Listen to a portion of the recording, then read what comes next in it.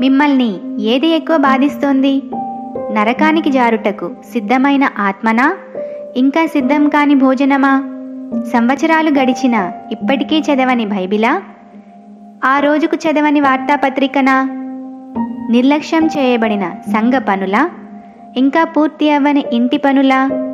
మీరు వినలేకపోయిన చక్కని వాక్యమా?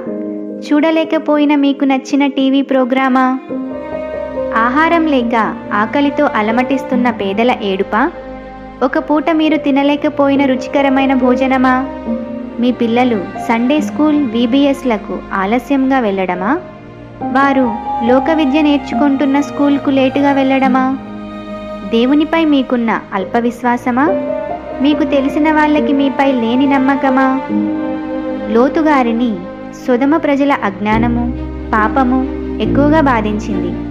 నెహమ్య గారిని కూలిపోయిన ఎరుషలేము గోడలు ఎక్కువగా బాధించింది.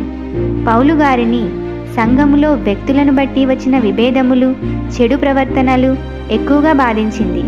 యేసుక్రీస్తు ప్రభువుల వారిని రక్షణ లేక నశించిపోతున్న ప్రజల పాపము ఎక్కువగా బాధించింది. నీతి విషయమైన బాధే భక్తులకు ఎక్కువగా ఉంది మరి. మరి మీకు